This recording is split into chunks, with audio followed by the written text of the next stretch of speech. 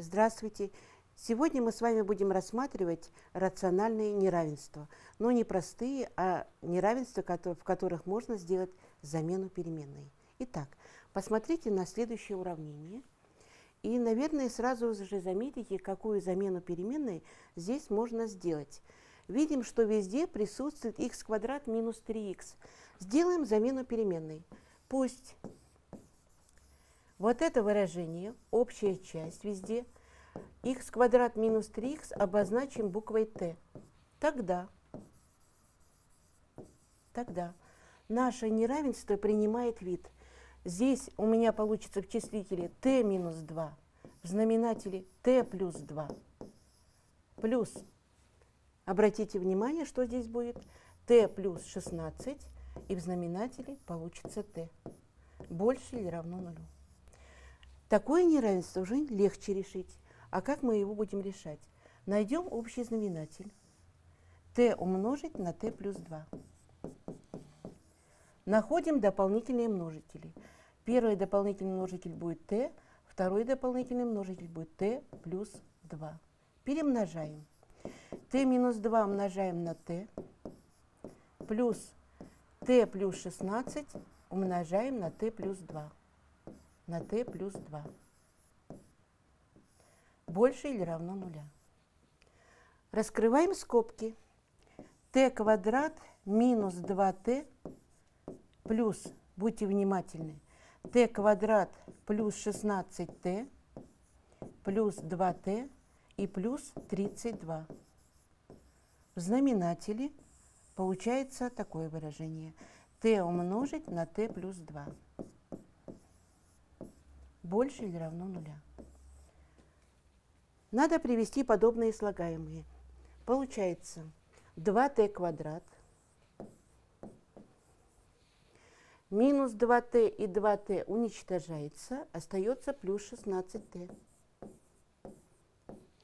И остается еще 32 со знаком плюс. В знаменателе t умножить на t плюс 2 больше или равно нулю. Что можно упростить? Можно обе части этого данного неравенства разделить на число 2. Получается t квадрат плюс 8t плюс 16 разделить на t умножить на t плюс 2 больше или равно нуля. Когда мы решаем неравенство, не строгое, больше или равно нуля, мы отвечаем на два вопроса. Когда данное выражение больше нуля и когда данное выражение равно нулю. Но для этого давайте мы запишем. А когда дробь может быть равна нулю? Когда его числитель равен нулю. Поэтому находим нули числителя. t квадрат плюс 8t плюс 16 равно нулю. А нули знаменателя я просто знаменатель приравниваю тоже к нулю. Но когда я его приравняю к нулю, на числовой прямой эти точки у меня будут открытые. То есть тем самым я покажу, что на 0 делить нельзя. Так, Получается, дискриминант равен 8 в квадрате минус 4 умножить на 16 равно 64 минус 64 равно нулю. Вот если вы это увидели, иногда некоторые ребята сразу видят, что данное выражение, вот этот квадратный трехчлен, можно было представить в виде полного квадрата, а именно t плюс 4 все это в квадрате равно нулю. Видите, вот это вот сразу я могла это увидеть. Если бы я увидела, то я написала бы, что t равно минус 4. При этом эта точка кратная, она повторяется два раза, потому что t плюс 4 стоит в квадрате. То есть t плюс 4 умножая на t плюс 4. Но а если этого я не увидела, то тогда я все равно нахожу корни. В квадратном уравнении у меня получается минус 8 плюс минус 0 разделить на 2 на 2. И все равно эта точка у меня появляется тем или другим способом. Нули знаменателя у меня будет t равно нулю и t равно минус 2. Так, что мы дальше делаем? Дальше я решаю данное неравенство на числовой прямой. Изображаю числовую прямую, на которой отмечаю 0 числителя. Она у меня закрашенная точка будет. И эта точка кратная, я ее каким-то образом должна отметить. Так, t равно нулю. у меня где-то здесь. Вот я сказала, что это 0 знаменателя, на 0 делить нельзя. t равно минус 2, это тоже 0 знаменателя, на 0 делить нельзя. Что значит 0 знаменателя? Если я подставлю минус 2, то у меня в знаменателе получается 0. Так, получается у меня интервалы – и давайте мы на одном из них определим знак. Например, число 1. Возьмем контрольную точку. Если мы подставим единицу, получается знак плюс. А дальше я чередую, а вот около контрольной точки, точки кратной, у меня знак повторяется. Некоторые даже используют, если вот ставят знак минус.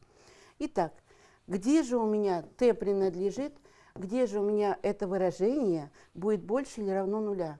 От минус бесконечности до минус 4 казалось бы. Но минус 4 тоже входит ответ. Я пишу до минус 2. И от нуля до плюс бесконечности.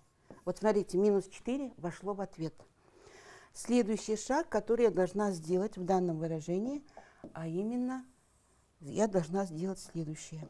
Я должна вот это неравенство записать в виде таких, такого вида неравенства.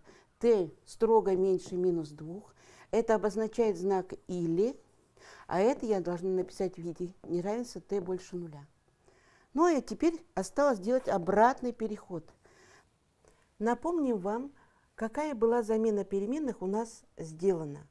Значит, мы обозначили x квадрат минус 3x, мы обозначали буквой t.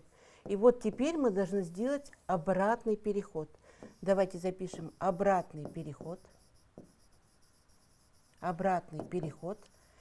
Какой же переход мы должны сделать? Мы должны сделать такое. Вместо буквы Т я пишу x квадрат минус 3x строго меньше минус 2 или получаем второе неравенство. x квадрат минус 3x строго больше нуля. Вот такие два неравенства, которые мы должны решить.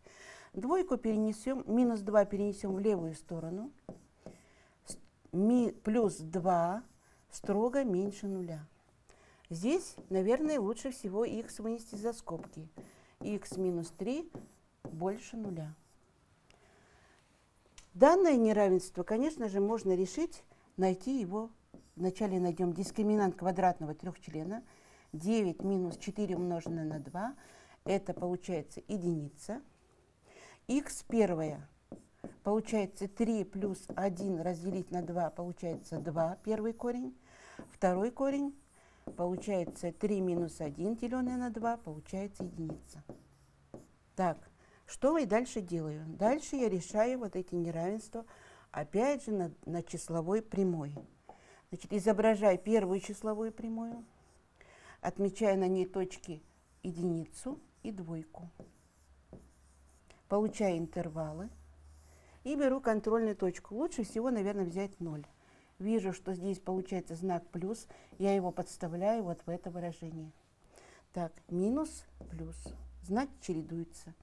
Поэтому x принадлежит, мне нужно взять интервал, где меня будет э, выражение меньше нуля.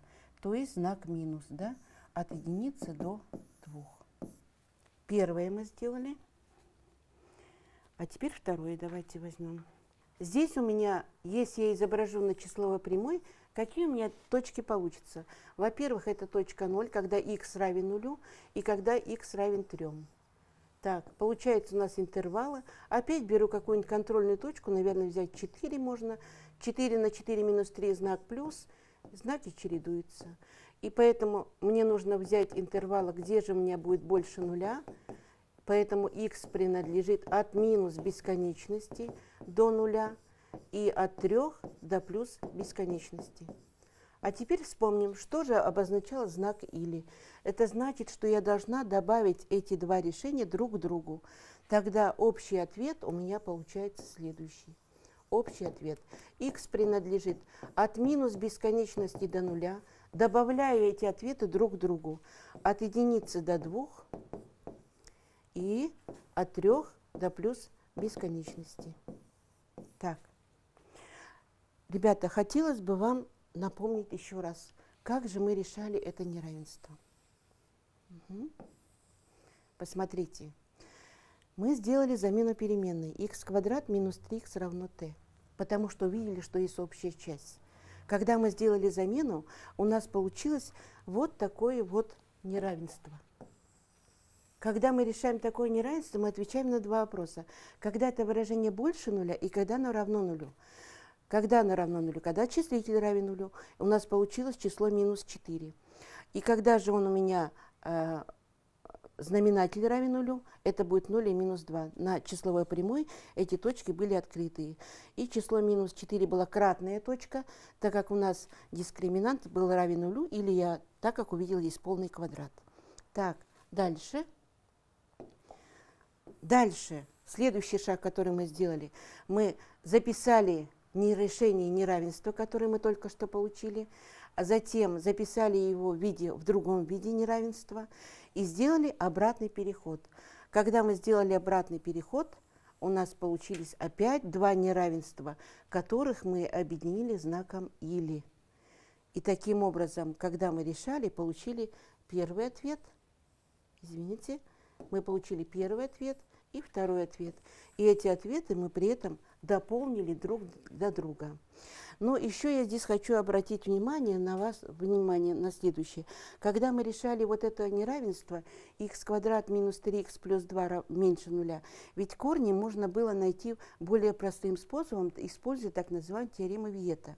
У нас, посмотрите, сумма коэффициентов равна нулю, у нас первый коэффициент единица, второй минус 3, а число здесь получается 2. Сумма коэффициентов равна нулю, и поэтому первый корень единица, а второй свободный член. Можно было таким образом сделать. Мы с вами рассмотрели неравенство, которое относится в едином госэкзамене. Это задание номер 15. Будьте очень внимательны. Приемов и решений, способов решения может быть много. Мы вам показали один из способов, когда сразу видно, что в выражении можно сделать замену переменной. Спасибо за внимание, всего вам хорошего.